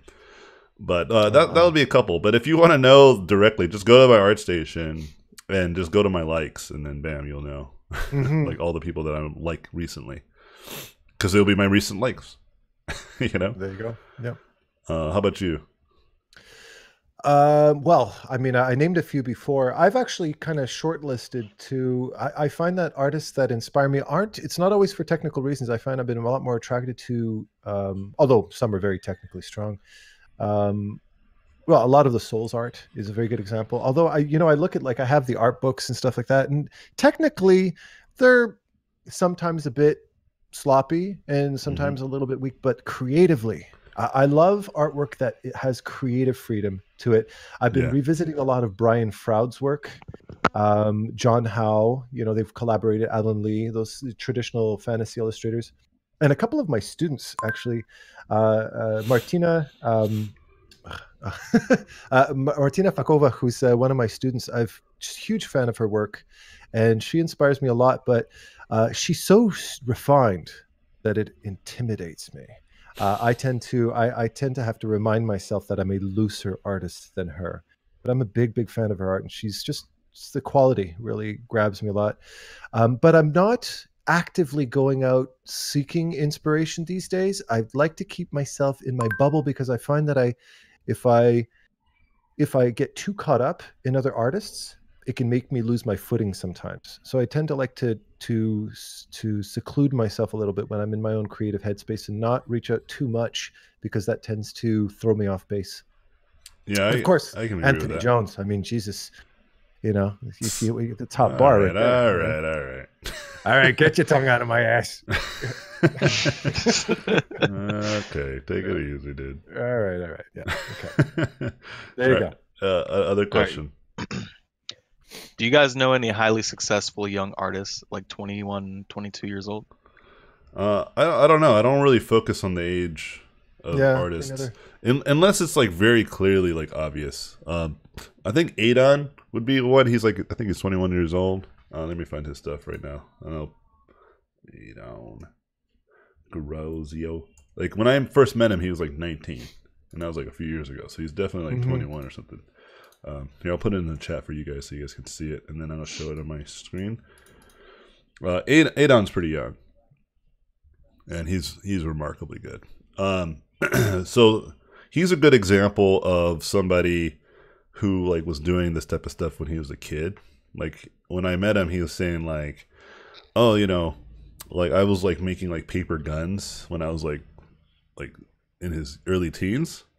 Mhm. Like he would like cut like go to like the websites, find the schematics of like guns, and then he would just like cut them out and make like cardboard paper versions of them. Hmm. And he would just do that all the time. And so then when he got his tools on like a real 3D program like Maya, Yeah. like obviously it was off to the races, and he just did that for years, and then he Mhm. just got really good. So I like to use him as a good example of like even even though it seems like where did he get the time? Well, he he did it at a very early age, you know. And it's like when we look at these really big uh, uh, artists who are very really good uh, in the past, or like other kind of like acclaimed people, for instance, like Mozart, uh, Mozart, Mozart, um, who people say, well, he was like really young when he composed his first songs, you know. Mhm. Well, you know, you got to look at the fact that his father was a great musician, his sister was a great musician. He was in a family of musicians. Uh, he was also um, taught at an early age how to Mhm. make music, and he did that at the prime of his youth, and he did it all throughout his youth. Right? Uh, you mentioned Frazetta. Frazetta's Mhm. same thing. Like he used to draw so much when he was a kid at his grandma's that uh, he would they would run out of toilet paper. He would draw on the toilet paper Yeah. and this is at like the age of three. You know, Yeah. did you do that when you were three? No, right? None of us did. That's why we're not Frazetta. You know, I, I was discovering my belly button at three. yeah, exactly. And so, like um, the the age thing, like I said, doesn't matter n- as much because ultimately you still have to put a lot of time, right? And um, there's very few people like, and they would literally be the outliers. So you don't want to compare yourself to these outliers, people who are just genuinely like gifted at the the arts, who can draw as a baby. You know what I mean? Yeah. Um, but Frazetta is not an outlier. Like, you know what I mean? Like, I'm not saying that he wasn't extraordinary, but he's not. He put a lot of time in drawing. Like, by the time he was 16. So imagine from that, when you're three years old to 16, right? Where that's all you're supposed to be doing is taking in information. And all the information he was taking in was drawing, right? Yeah. I would be Yep. shocked if he was terrible at drawing. You know, it'd be weird if he was like not good at it. What was that like 13 years of just hardcore drawing? You Mhm. know, in fact, he was so good at drawing; it was so like effortless to him. He didn't even want to be an artist, right? Because he felt like he wanted to do other things. Like He just wanted to be a baseball player. Yeah. yeah, you know, it's it, because he just did it as a way to pass time. And obviously, if you do anything long enough, you get really good, even if it's just to pass time. You know what I mean? And um, so I would focus less on the age part and more about the time you've invested, right? I'll, I'll be more focused on like how much time you spent on something um, than how old you are because there are people who are much much older who are really uh, who've been working in the industries whatever but they're not nearly as skilled as someone who's let's say is younger because the younger person put essentially more time if, if uh, like than they did in a real way you know like the types Yeah. of things that they actually studied. And vice versa obviously. Obviously there's people like Syd Mead who was an artist since the beginning of time you know what i mean? Mhm. and is is impossibly good. Like it's we're never gonna catch him you know? I'll tell you something too. There's this real, there's this real uh, kind of belief that kind of permeates itself into the art industry where if you haven't made a name for yourself by the time you hit your 30s man whoa dude you, you've missed your stride. And look around at some of the most famous people on earth j.k rowling walt disney leonardo da vinci. These people weren't even known until they were in their 40s nobody even knew their name until they were in their 40s so don't beat yourself up there's this isn't a race you know uh, fame can come in your 70s if you apply yourself So- yeah i think like stan lee right like the marvel cinematic universe blew up when he was in his 80s or 90s really Like, yeah, he he um like Marvel was always kind of like backpedaling, man. Like they were always trying to um make money back. They went bankrupt No a few kidding. times. Yeah, it wasn't successful until the Marvel Cinematic Universe. Huh. And then and now like look at them, they're buying back their IPs because uh, Stan Lee was sell them because he was like trying to keep his company afloat. You know what I mean? yeah yeah It was like a constant like dripping and failing of of, of different measures all the time until he was much much older. And then when you hit that fame, people go, "Oh, he's he's he's he's a genius." Yeah, I've been doing this for how many years and nobody even knew. Don't worry about that. You know, that's don't don't preoccupy yourself with age, man. It's it's so completely irrelevant. And you know what? The difference between being 20 and 40, it's a blink of an eye. It's gone before you know it. So don't don't even don't even think about it for 2 seconds. Oh man, I thought about it for three seconds. Dang it. God damn it. Oh, dude, I was stuck at four. Oh no! I could see your painting screwed up. to You know? You screwed up. yeah. I'm gonna take a break Okay. from painting and drink my smoothie. Uh, There you go. ask the next one? question. I'll let Adam start this one. All right. You want me to ask it? No, no, he's gonna ask, and you're gonna you're gonna I'm gonna pass the. Oh, ball to sure. you. Yeah, go go I'm ahead. gonna mute All right. myself too on here, so that way I don't you don't hear me slurping. All right. What do you think makes an illustration appealing?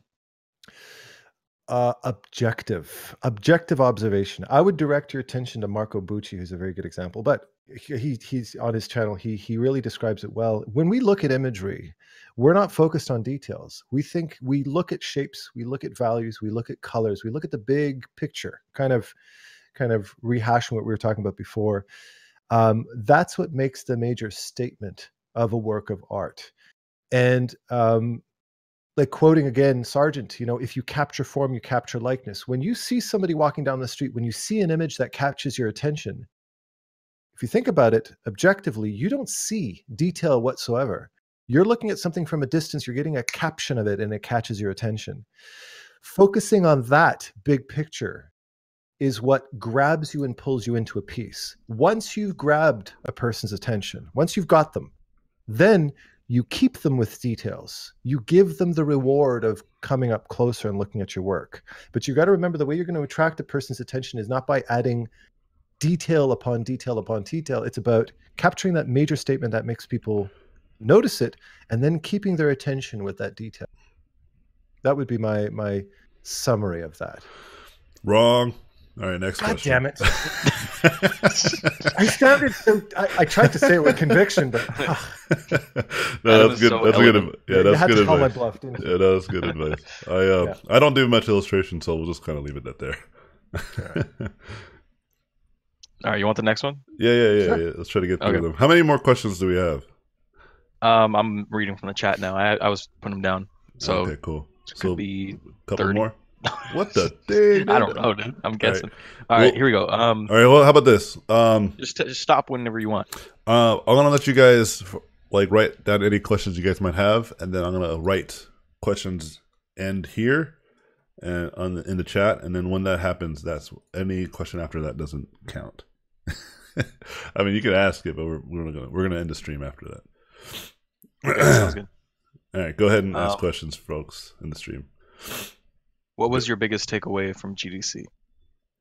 Um, oh, it's the same thing I get every every time I go to the event. I um, make a lot of friends. You know, Mm. I like to go to the event to to chat with people, to make new connections. Because whenever uh, I t- talk to my students about this, because they always ask, like, why should we go to like events? Like, what's the purpose? And I said, well, it's because there's only two things we can control, and that's the quality of our work and the people that we know. hmm You know, and if you don't know anybody, uh, it doesn't matter if your work's amazing. It's kind of like what Adam's saying. Like, you know, some people aren't even known until like, you know, in their, until they're in their forties or even fifties or whatever, right? Mhm. hmm And it's not because they weren't good. Uh, There's some of these people that are really good. Uh, like Kim Jong is a good example. He's not like really old, but like he he was like well known in Korea, I think, but everywhere else nobody knew who, who the hell he was. Uh, It's only until he did that like really viral video of him drawing like miraculously that people were like, "What? Who is this guy?" You know. hmm Um, but it wasn't like he just came out of nowhere. Like he was doing that for years, you know? He just Yeah. happened to document it, put it online, people saw it and people loved it, you know? Yeah. And um and so I go to GDC, I go to these events because of the, the very value that you get from making friends, talking to people, meeting people. Um and then uh in my my perspective this time is that I'm trying to do more game dev. So I'm going there to make friends that are like gonna help me with game development. You know what I mean? Yeah. Um, When I the first time I ever went, like the first few years that I went before, I went to to get an art portfolio review and try to get a job as an artist. You know, and that worked out. And so uh, I'm doing it again, but I'm not just gonna go there. I'm gonna go to like E3. We're gonna try to go to E3. I'm gonna go to like um, what you call it. Uh, I'm gonna try to go to SIGGRAPH. I'm definitely going to Lightbox. You know, um, I'm going to events again, uh, but in a real way, like try to to expand my my network. You know, hmm and I usually tell people make friends. Don't just like do the networking game. Like if there's somebody that you meet that has a lot of power and a lot of um, you know pull, but they're like really jerk offs, then hmm just ignore them. You know, make friends because you might. There's definitely for every person like that. There's like a hundred people that are not like that that are also as influencing or not. Um, Yeah. Like some people that are just like students, like be friendly to them as well because one day they're not going to be students anymore. You know what I mean? No. they're going to be rock stars in their own right. And if you were nice to them genuinely, because you're not thinking uh, about what they can do for you now, but you're just thinking about how cool they are and how you guys get along, uh, as a consequence of making friends with someone like that who may be driven and maybe as passionate as you are, they're going to ultimately get good too. A lot of my friends are all really good, you know, and I'm not talking about the people that I've made at these big events. I'm talking about the people that started with me. Like we were we were in the classrooms together, you know. A lot of them work for big companies and big projects now, you know, because they were just like me. They were driven and they just put the time in, and then they got really good, and now they're working for all these great companies. You know, they have a name Yeah. for themselves. Like my buddy Yeah. uh, Jason Hill, he designed a lot of the Apex Legends characters. hmm Like this is a guy I've known since I first started. You know what I mean? Yeah. Uh, and, and I'm really proud to see him like kick some butt now. You know, like I mean, he's always kicking butt, but like really getting noticed for his ass kickery. you know, Mhm. And and so that's why you go to these events. That's why you should go to events in general because you want Yeah. to make friends, put your name out there, make people recognize you. Uh, I know a guy named Kenny because I used to go to BlizzCon like every year and show him Mhm. my portfolio, and I was trash. And the first year I showed him, he was like, "Yeah, you're trash." And then I was like, "Oh, okay." And then I like I'm paraphrasing, of course. And then Yeah. like the the next year I went and I was like, "Hey, remember me? I'm the trash artist." And he was like, "Hey, I remember you." And then I showed him my work. He's like, "Wow, you got better, man!" Like, but it's still kind of trash. And I was like, "All right, cool." And then the next year I did it again. But he just remembered me because it's just the way that I was like, like I carried myself, the way I was trying to be super friendly. I was really receptive to the feedback. That's so important. Yeah. Yeah, and then he, we became friends, you know, like good friends, and Yeah. I still talk to them to this day. And that's kind of how it is. It's just like you just be friendly, make friends as, as often as you can. You know, and if your focus is money, you know, I was I I actually have a video on my plugging my own videos here, but uh, it was my friend Jimmy who's who's a comic artist, and he, I was asked asked him that very question. He said, "You can tell when you walk up to a table and somebody's just they sit they they have their they have their face in their drawing. They don't look up. They don't socialize." And when you come up to their table, they kind of look at you like, "Well, are you buying a piece or not?" You know, that kind of. If you don't, if you're not going to buy something to waste my time, when your goal is to make money, when your goal is to make a profit from other people's presence, people can sense that. And people can see the difference between you being there to make cash and you being there to make authentic emotional connections with people.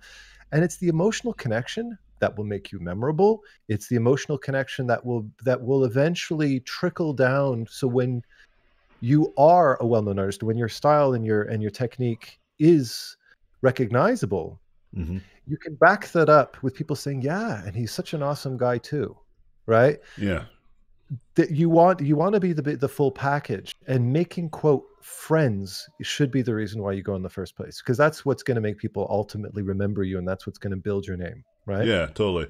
Like it, it by by definition it's networking, right? Yeah. But like like you were saying and like what I'm saying is but if you see it as like networking, like raw networking, like you're like Yeah. some sort of like robot, then yeah, people can sense that. But if you see it Yeah. as I'm trying to make friends and I use the example of like even if there's somebody that could help you, but you just don't get along with them, yeah it's actually better not to just keep that commitment. yeah You know? It's just better just to um, make friends with people that you get along with yeah and Yeah. um and trust me there are more people that are awesome than there are people that are not awesome so yeah you guys don't have to worry too much about that All right. So let's see. Next one. wrong Oh, damn it! Now it's my turn. but but anton wrote wrong too on the chat i just read that oh yeah. Um, how to reflect a picture in Photoshop. how to reflect what do you mean uh, flip horizontally says. Oh okay so that's very technical. That should be easy. Um you just basically go to uh image. Uh, or is it image? I haven't done it through the your actual yeah it's you can go image you edit keyboard shortcuts yeah. Yeah and it's flip it canvas horizontal, but you can see that I have a shortcut. That's actually not the default shortcut. There is no shortcut. yeah Um, but that's where it's at. And then if you want to change the shortcut, you got to go to keyboard shortcuts, and then you got to go to uh, application menus, and this will simulate all the options that are up here. You'll see file, edit image, file, edit image, and then you go to image and you just look for uh, flip horizontal. And Yep. it's a little bit down there. It's image rotation, and it's right there, and you can see shabam. And Control W is like a, I think a hotkey for something else, but it's a hotkey or it's a thing that I never do. So um, Yeah. you can change it to whatever you want. Uh, mine is Cool. Control W. And that that's the easy one. That's technical. So Okay, next one. AJ, what? Uh, AJ, your stream processes are always start to finish. Do you ever do multiple thumbnails for the first stage anymore? Uh, not really. And it's a. And I like to preface this as it's a skill earned. You know what I mean? Um, I only thumbnail if I'm drawing something I'm not good at. Like if you were to see me design something like a cat, I always like these cats. Like if I had to work on like a new cat movie for whatever reason, uh, I would probably do a lot more sketches and thumbnails uh, because I don't know how to draw a cat. Um, not that I can't draw one. Like I would, I can have like an image and, and go for it. I'm sure I'll be all right. You know, it's that uh, I don't have a lot of skill in it. You know, but if it's to draw like a monster or creature of any kind, usually uh, I'll, I'll do all right. If it's like Mhm. uh, a character, like a people, even if they're a little bit stylized, it's not that big of a deal because I've done that professionally for many years. So I'm Mhm. I have a, already a, a huge library of information that I can just extract from. Mhm. The way that I like to compare this is is like muscle memory. You know, like you mentioned earlier about, and I thought this was great. Like that art is like a, not just a mental thing; it's also physical. Uh, Mhm. I see all things that we do as only physical activities. I, I think mental uh, is our definition for like separating the mind and the body, right? yeah But the reality is, the mind is also a physical thing, right? Like if you take a hammer to my arm and break my arm, you know, I, I won't be able to use it, right? Mhm. But if you go to take a hammer to my brain and take out like a chunk out of my brain, and let's say I still survive, there would be parts of what I used to be able to do I can't do anymore. You know, like when people who have strokes, they have these physical reactions that happen in their brain that actually turn off parts of their brain for life or for for temporary amount of time. You know. Oh, this And- got dark really fast it's it's just the reality, right? And so like if you there's this guy who um got like impaled like through his head, um, and like a big chunk of his brain was gone, but he was alive and well. yeah And yeah. then and then he started to live his life and everything was pretty much the same except one thing was different. He the his sense of empathy was gone. because that part of his brain that helps function that was gone. So he Yeah. started becoming more like angry. He started getting like more reckless. He started doing nefarious things. Yeah. And so anyway, so getting back to the the art point of it, not to get too dark about the brain and stuff like that. I I like to think of that uh, premise that that's what I'm doing when I learn how to draw like faces, right? Mhm. It's that I've collected a lot of information for my brain. Like it's like I've you know lifted dumbbells. Uh, like I could do pull ups. I can do like ten pull ups like really easily. You know, um, but not not always. Like when I was first starting to work out, I could barely do like one or two. You know, Mhm. and then when I trained, I got it to be able to do like 20 total, right? Mhm. My max.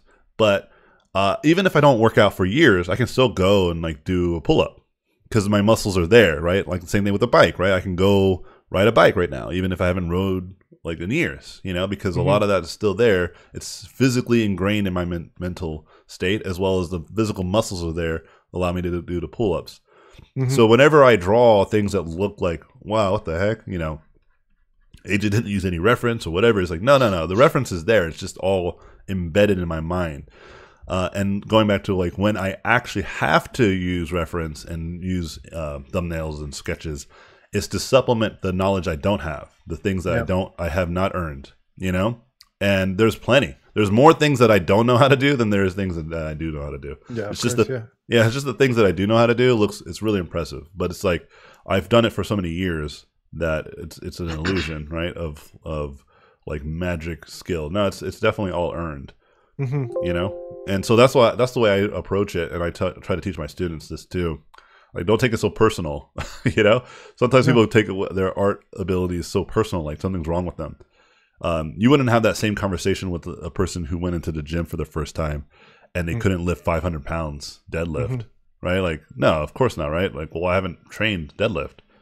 Well, then maybe you haven't trained painting forms, or maybe you haven't trained enough drawing people's faces without looking at them, you know? Mhm.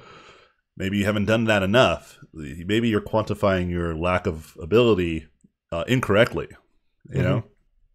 And that's that's the way that I'm going to answer that question. You know, Yeah. of just like wh- what I only just think things to finish. I'm only painting things I've already know how to paint. You know, if Mhm. I were to paint things I don't know how to paint, it would be a completely different story.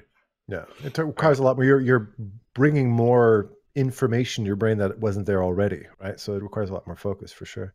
Yeah, like like I said, cats. I can't draw cats. Mhm.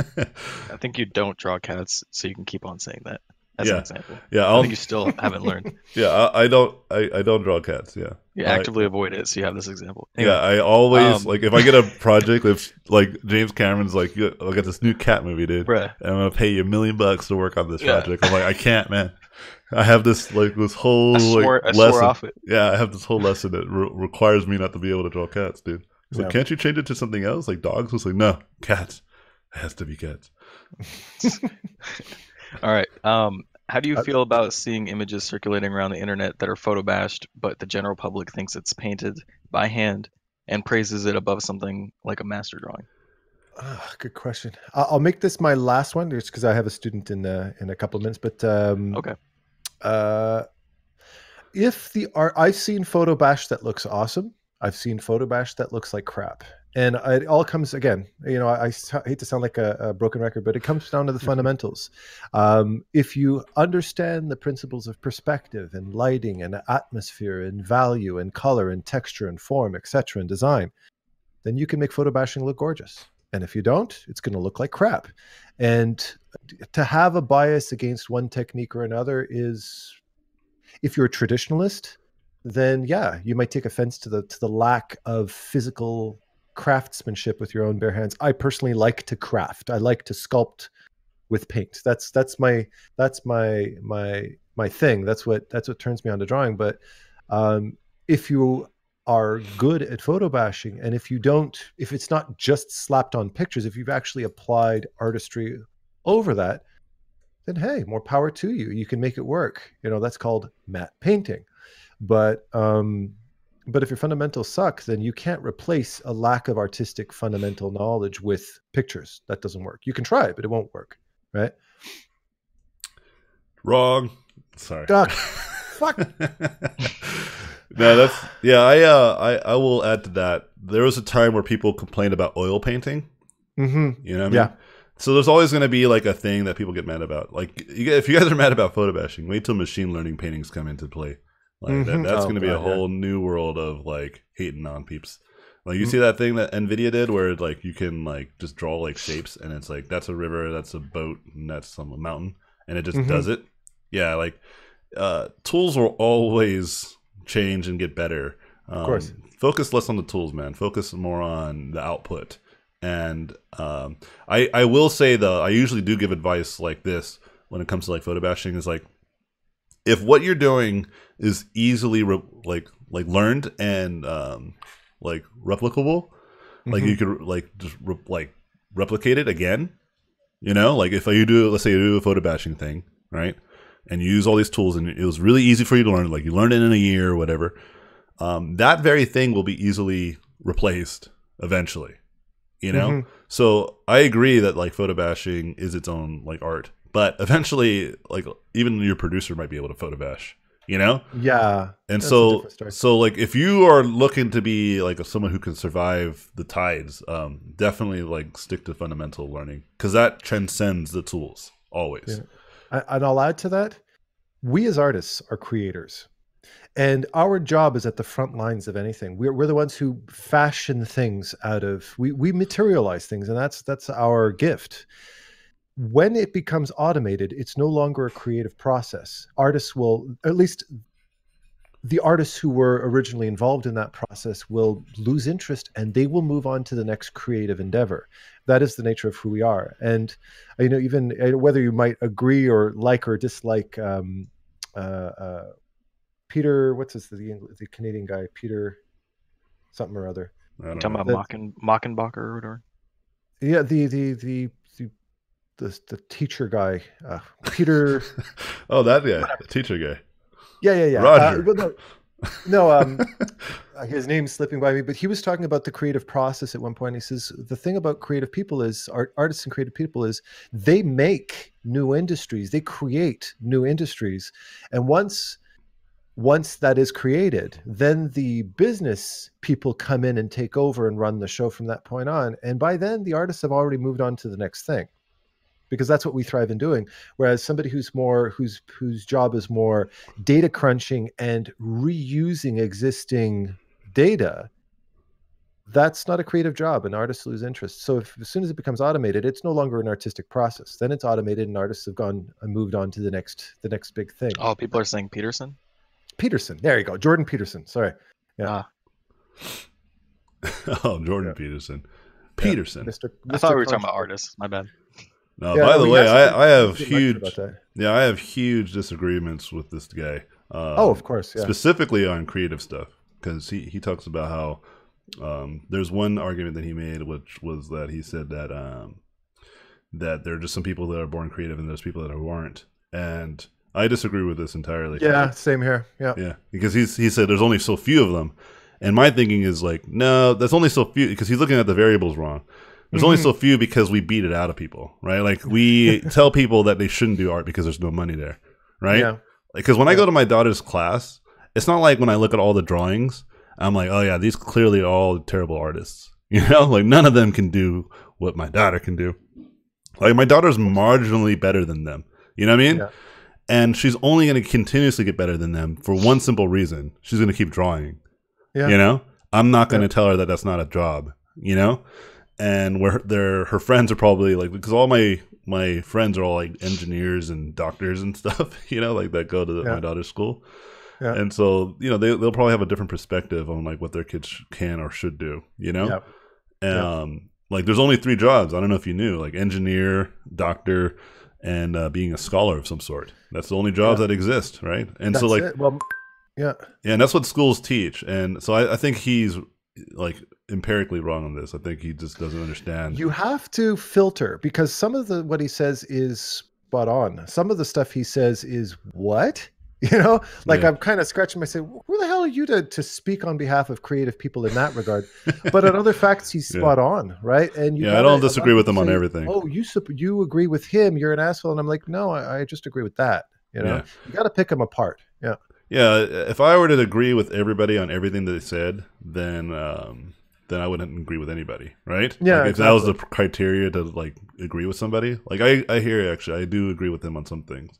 Some Yeah, things he yeah, makes yeah. good points on, but that was one of them. I was just like, what the f you talking about, bro?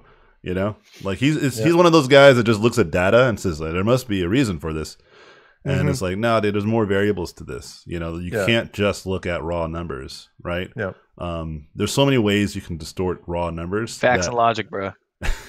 Yeah, like the, the the the argument of just like it's facts is not a strong argument in itself because facts on them on their own aren't like law. It's just information. It's how we just like perceive that information. Like for instance, Well, if. I were to give you facts that a hospital uh, had a hundred people, uh, hospital A and hospital B had a hundred people that go in, right? Mhm. And hospital A, and this is a fact, uh, about only like like twenty percent of the people die at the hospital. Okay, this is hospital A, and in hospital B, um, five percent of the people die.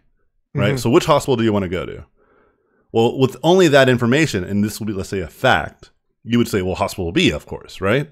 Yeah. But when you add the extra variable that hospital A admits all people who are in critical condition, right? Uh-huh. and a lot of them are like near death. And then hospital B only admits about like ten percent of their the, their attendance people like Mhm. are in critical condition. So that means that if you're in critical condition in hospital B, there's half a chance that you're going to die, right? Good Versus point, hospital A, where you'll have a twenty percent chance. Yeah. So You then with that, subtext, right? yeah. So with that more information, you you can make a justified uh, basis of your like the way you should manage that information, right? So like I feel like he's right. Like I'm sure factually, when you look at creatives in these industries, it's very small, right? Yeah. But why is it so small? Is it because we're like maybe we should consider that we're cutting art programs here in America? You know what I mean? Like no one takes art seriously in most of the world, right? Mhm. It's like maybe it's not a fact that there's only so select few. It's that those select few like may have had the circumstances like whether their parents were super supportive, Mhm. maybe they didn't give a damn what their teacher said, you know, and what everyone else told them that they couldn't do or could do, right? Yeah. And so they maybe it's more than they were just like these talented individuals. Maybe it was that they just kind of like got through all the bullshit that everybody Yeah. else was like wasn't able to go through. And I think that's a that's a tragedy, to be honest. I think more people should be. Oh no! Wrong. How dare you guys? How dare you guys? I love it. Yeah. All right, Adam's got a dip, dude. Yeah. Okay. My yes. bad. All right, I- man. I'm, I've got, yeah, that was fun. well, we'll do it again, Yeah, man. that was really nice. I Yeah. love that, man. That was this is a. uh, It's just too bad it was so short, by my opinion. But yeah, it was it was a lot of fun. Maybe we should slot out like a two-hour session, and I think that'd be good. And then, uh, Yeah. But in the future, uh, we'll we'll figure it out. But yeah, you dip. I'll take like the last remaining questions, and I'll, I'm gonna dip after. Yeah, we got it. Awesome. Well, thank you so much for the invitation. I really had a good time today, guys. Absolutely, it was a pleasure. Yeah, for Say sure. bye to Adam, everybody. Bye. There, there's a delay, so if you don't see the buys, don't think that they don't care. They're like, why is it, why isn't anyone saying bye to me? Yeah, no one's gonna. All right, guys. Yeah, no one's Uh, gonna see. I'll, I'll write it out. All right. Thank you so much, guys. Love you all. Never change. Yeah, Change Wrong. with an M. wrong. That's All gonna right, be guys. the new meme. Yeah. Peace out, dude. All right, see you later, right, man. peace It was a pleasure. Talk to you later. Take care. All right, now now people are saying saying bye. All right, let me see. Where were we? I don't Oh, know. gosh. The, let me It feels it. so quiet now. It is well, nice I to haven't technically left. How the hell do I close it? Get outta It's here, the, dude. It's the hang up icon, bottom left. Remember that? Uh, With the fuck, X? I, I, I minim- Excuse my French again. I, I minimized. It's What is it? Where are you? Ah, So, there we go. Okay. There's a little and- phone with the X. All right. All right, see you later. See you, Later. man. Okay, now he's out All of right. That's funny. That's I think the funny. last one was asking about the photo bashing, yes, if And I'm then- correct. and then we I think we answered that one, and then we All right, went let me into um, other stuff. Um, why can't I find it? All right, Uh, chat. is it already like it's all scrolled up? We might just end it then if you can't find it, and uh, I'll blame you for the mishap of not answering the last final questions. I mean, I see other questions. Um, I just wanted to be in order. Yeah, were they the ones that were after the or before the no more questions? So I might might lightning round might have this. been after actually. Oh yeah, here you I might have? I might have just missed it. Let me let me go through this because I can see my name faster. Uh, yeah, No, you're highlighted and- here. I'll just let me just ask what I see until you say no more questions. Hold on. So, Okay. so I'm working on it, and then da, da, da, what do you think about the? This is a new one. What do you think about the 80-20 rule in painting? Should you practice other things in painting? Uh, what's the most common mistakes you see? There's a lot. Any predictions of the artistic pipeline? At least that's all the ones that I Oh. saw. Um, Oh, I found it. I found it. I mean, I found it. I'm good. You want to go from here? yeah, hold on. Was there anyone before that? I guess not. Should you practice other things? I guess that person asked that question again twice, but we didn't. Oh, the get to 80 it. 20 is the next question. That is the next one. Okay. Yeah, it seems like there's like a few there, so we'll just lightning around it, and I'll just try to because I need to get going as well. But I, I, I I did say questions end, but then people asked, so it's not my fault that I talk aloud. I mean, it is actually my fault. It's entirely my fault. Yeah, Anyways, go ahead. All right, Uh, AJ. Oh, did you already read it? Yeah, I was like, actually, I already read it. Yeah, the 80 Okay. uh, 80 20 rule. Yeah, it's a good one um, because it, it kind of accounts for contrast. And you always want to think about contrast. So, like having 50 50 of everything doesn't give you the kind of right amount of contrast in most things. But uh, having 80 20 for sure gives you a good amount of contrast. Cool. Next question.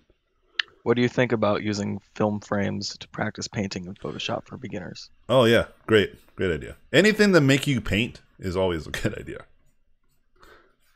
Okay. Should you practice other things in painting slash drawing even though your area is somewhere different? Like a concept artist for environments practicing anatomy or faces, I think it might help.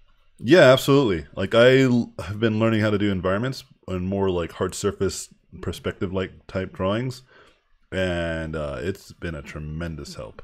I I think anything that gets you working and drawing and painting is always a good idea. Um, but uh, learning different disciplines, like I learned 3D uh, to make better concepts, but then learning 3D made me better at seeing 3D in my own drawings. So um, I encourage it just for that alone, just like to be able to um, see things in a more dimension. Yeah, absolutely. Solid. Okay. You're solid.